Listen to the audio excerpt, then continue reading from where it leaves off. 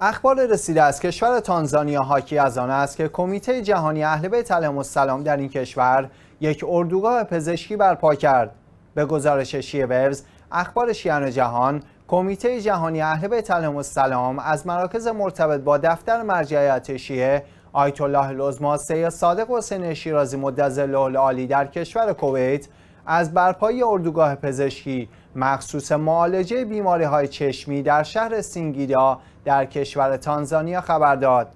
این اردوگاه که در عمل به توصیه های مرجعیت شیعه مبنی بر رسیدگی به ساکنان مناطق محروم و کم بزاعت برپا شده است خدمات مختلفی را به مراجع کنندگان به صورت رایگان ارائه می دهد.